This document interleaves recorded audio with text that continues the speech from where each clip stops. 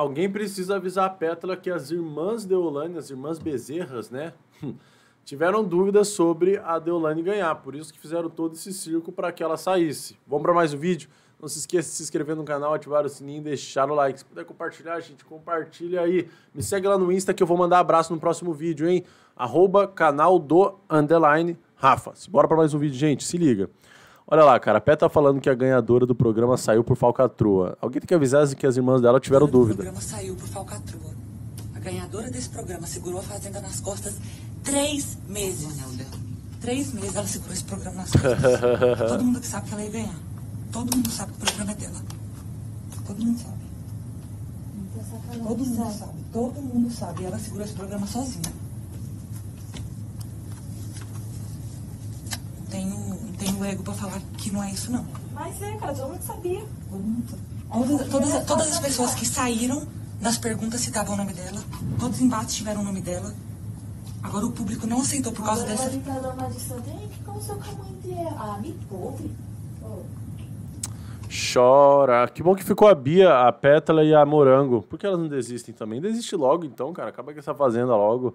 Uh, se vão ficar aí, vão ficar nesse chororô mesmo, então que desista. Mano, começa a jogar, cara. Pô, Deolane saiu. É a chance de vocês. Parece que abriu a, a, a, a Deolane, era, era a tampa do bueiro. Abriu o bueiro, as baratas ficaram doidas. Onde é que a gente vai? Onde é que a gente vai agora? Meu Deus do céu, eu tô perdido. Ela ia ganhar um programa, meu.